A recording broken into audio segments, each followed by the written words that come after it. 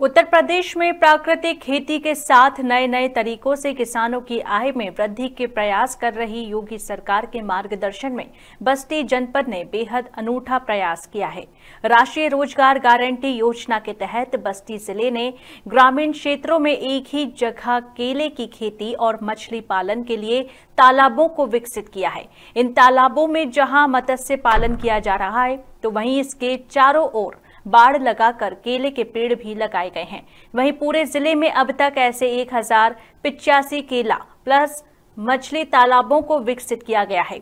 इस महत्वपूर्ण पहल के माध्यम से ज़िले के ग्रामीणों को आर्थिक सुरक्षा, रोज़गार और आजीविका के नए स्रोत प्राप्त होंगे। ये अनूठी परियोजना एकीकृत खेती के साथ बागवानी और मछली पालन को एक समन्वित तरीके से समर्थ बनाएगी। इसके अलावा ये प्रकल्प स्थानीय ग्रामीणों को निरंतर आय का स्रोत प्रदान करेगा और इसके साथ ही प्राकृतिक संसाधनों का संरक्षण भी सुनिश्चित करेगा।